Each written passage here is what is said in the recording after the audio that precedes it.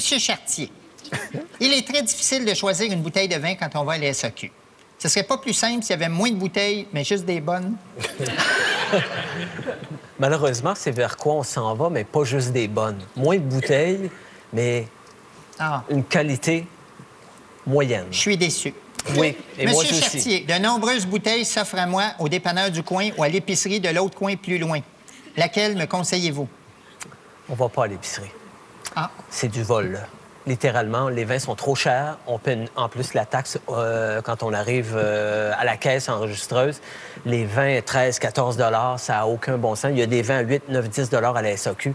Euh, J'en parle dans mes livres. Des vins de superbe qualité pour le prix. Et j'ai fait des tas de dégustations à l'aveugle. Je parle, parle pas à travers mon chapeau. Et puis, à côté des vins de dépanneur à 13, 14 dollars, on les bat à plate couture. Fait que prenez le temps d'aller. Il y a des SAQ Express ouvertes régulièrement. Monsieur Chartier, l'autre jour à la SAQ, j'ai vu une bouteille avec un bouchon qui se dévisse. Hey, je l'ai pas acheté. Ai-je bien fait? Non. Euh, il faut acheter les vins avec euh, les capsules à vis, comme les vins avec les bouchons de liège, comme les vins avec les bouchons synthétiques comme ça.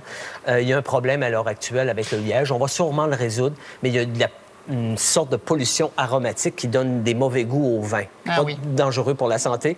Mais le- la capsule à vis, le fameux twist cap, Ouais. euh, c'est de très, très grande qualité. Ça conserve les vins formidablement. Monsieur Chartier, je suis allé souper chez quelqu'un qui a mis une bouteille de vin rouge 15 minutes au congélateur avant le souper. Est-ce un acte répréhensible? Devrais-je cesser de le fréquenter? Moi, je, je suis peut-être un peu trop puriste, mais je suis pas très congélateur. Vous avez de l'eau fraîche, vous avez des glaçons, on met ça dans un, un bac, on rafraîchit la bouteille. Au lieu de 15 minutes, ça va prendre 25 minutes. On attend. Pendant ce temps-là, on parle, on fait d'autres choses euh, et on... Voilà. Monsieur Chartier, y a-t-il des pays dont les produits pourraient surprendre mes papilles gustatives et ainsi les faire trépigner de plaisir? Ah oui, oui, absolument. Absolument. À l'heure actuelle, le secret le mieux gardé de la vieille Europe, c'est le Portugal. Oser le Portugal.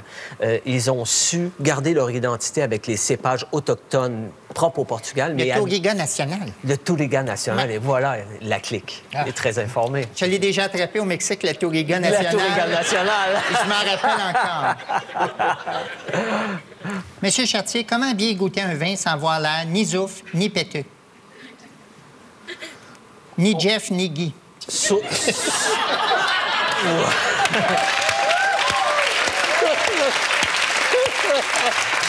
Oui. Tenez pas votre verre par la coupe comme ça. Ça réchauffe le vin en deux temps, trois mouvements. Ça salit la ça? coupe. Euh, le petit doigt, vous pouvez le mettre ailleurs, là. J'aimerais avoir une démonstration, j'ai pas vraiment l'image. Je connais pas ça le temps que ça, hein? Monsieur Chartier, dernière question. Dans le cadre de votre travail, est-ce que ça vous arrive des fois d'envaler? Contrairement à Clinton, qui n'in- inhalait pas, euh, bien sûr, moi, Oui, mais il faisait d'autres affaires quand même. ouais, ouais. Euh, Et voilà. C'est elle qui avalait. Oui, c'est ça.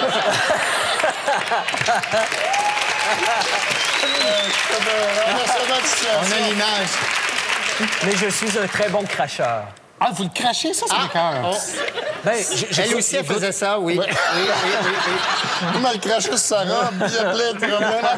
Mais c'est dégueulasse, ça, je trouve. Ben, je, je goûte 3000, 3520 par année. Ouais. Pour, dans mon travail. Dans- à tous les jours, je goûte des vins. Donc, s'il fallait que je boive Normand ça, aussi. imaginez. ouais, c'est ça. Je crache pas la boisson. C'est un scandale de cracher ça. Monsieur Chartier, est-ce que vous restez avec nous? Avec grand plaisir. On On revient ouais. tout de suite après la pause avec Guillaume Lemaitre-Tiguel.